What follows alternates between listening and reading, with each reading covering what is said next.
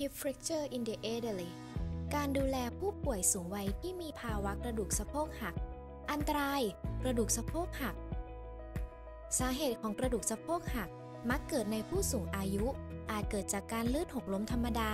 ในช่วงวัยสูงอายุ มักพบว่ามีภาวะกระดูกพรุนร่วมอยู่ด้วยนั้น การหกล้มสะโพกกระแทกกับพื้นที่ไม่รุนแรงมากนัก ก็สามารถทำให้กระดูกสะโพกหักได้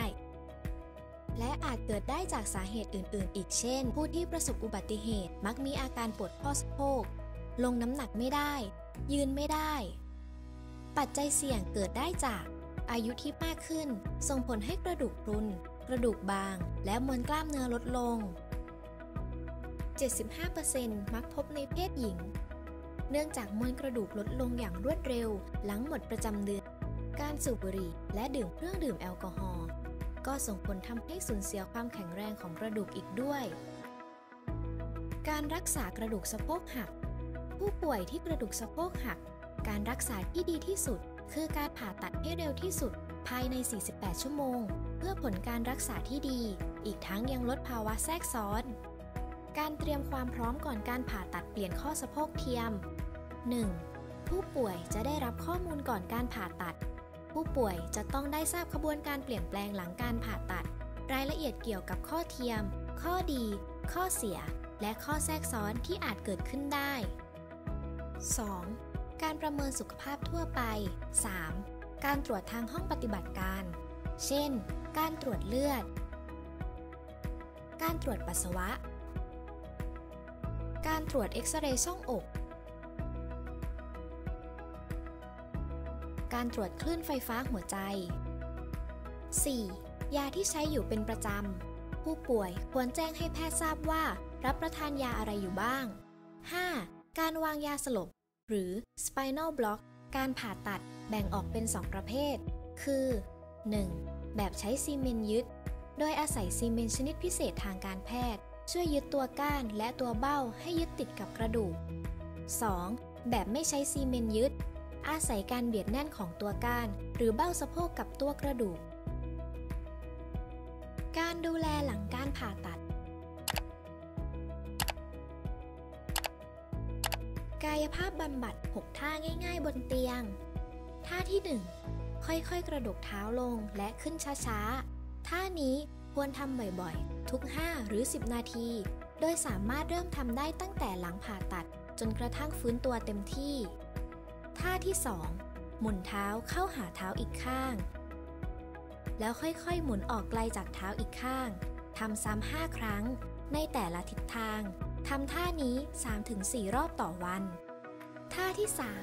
3 เคลื่อนส้นเท้าเข้าหาสะโพก งอเข่า พยายามยึดส้นเท้าให้วางบนเตียงตลอดเวลา ระวังอย่าให้หัวเข่าหมุนเข้าด้านใน ท่าที่ 4 เคลื่อนขากางออกให้กว้างที่สุดเท่าที่จะทำได้ และเคลื่อนกลับ ท่าที่ 5 เกรงกล้ามเนื้อต้นขา และพยายามยืดเข่าให้ตรงที่สุดบนเตียง ในขณะที่เกรงต้นขา ค่อยๆยยกขาขึ้นจากเตียง สูง 2-3 นิ้ว ค้างไว้ 5-10 วินาทีแล้วค่อยๆ วางลงทำต่อเนื่องไปจนกระทั่งรู้สึกกล้ามเนื้อต้นขาล้า ท่าที่ 6 เลื่อนส้นเท้าเข้าหาสะโพก งอเข่า แล้วค่อยๆยยกขาขึ้นจากเตียง ค้างไว้ 5-10 วินาที แล้วค่อยๆวางลง อาจนำหมอนวางรองใต้ขา เกรงค้างไว้ 5-10 วินาทีจนรู้สึกล้า แล้วค่อยๆวางลง การดูแลตนเองหลังการผ่าตัด การเตรียมสถานที่พักฟื้นหลังการผ่าตัด ควรปรับปรุงสภาพแวดล้อมที่บ้านจะช่วยให้ผู้ป่วยใช้ชีวิตที่บ้านได้อย่างสะดวกสบายขึ้น ควรเตรียมเก้าอี้ที่แข็งแรง มีพนักพิง และมีที่วางแขน ควรเคลื่อนย้ายสิ่งของไม่ให้กีดขวางทางเดิน ควรเตรียมไม้เท้าที่จะช่วยใช้หยิบจับของในระดับต่ำได้ง่าย ควรติดตั้งราวจับตามทางเดินและบันได ควรเตรียมอุปกรณ์สำหรับช่วยใส่รองเท้า ควรติดตั้งราวจับบริเวณห้องน้ำและที่อาบน้ำควรเตรียมที่ถูสบู่แบบมีมือจับ และมีฝักบัวที่สามารถถือได้ ควรเตรียมเก้าอี้ที่แข็งแรงไว้สำหรับนั่งอาบน้ำ หากโถสุขภัณฑ์เป็นแบบคอหานควรมีที่นั่งเสริม หรือเปลี่ยนเป็นแบบชักโครก ข้อควรระวังที่สำคัญเพื่อป้องกันข้อสะโพกเทียมเคลื่อนหลุด ผู้ป่วยต้องปฏิบัติดังนี้ ใช้หมอนแทรกระหว่างขาเวลานอนหลับตอนกลางคืน หลีกเลี่ยงการงอข้อสะโพกที่มากเกินไปเช่น การไขว้ขา